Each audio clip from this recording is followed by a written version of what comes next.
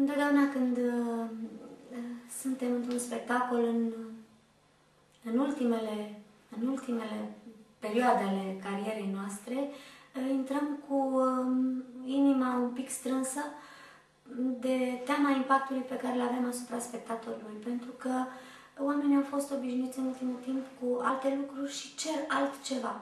Noi poate că venim dintr-o lume în care spunem lucrurilor pe nume prin, uh, prin frumusețea muzicii, prin uh, valorile unei culturi universale, care uneori este străină în România. A ajuns de, de foarte multe ori, nu uneori, de foarte multe ori străină. Copiii, generațiile astea noi sunt, uh, sunt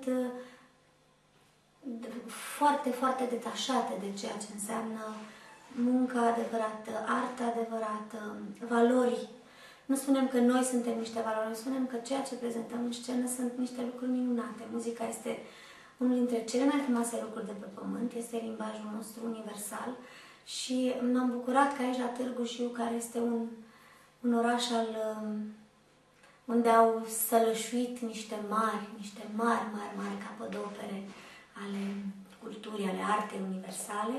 Aici am găsit și noi, um, în publicul uh, din Târgu Jiu sprijin. Am găsit sprijin și putere să mergem mai departe pentru că în seara asta ne-am dat seama că mai sunt oameni care au nevoie de ceea ce facem noi și le mulțumim din suflet.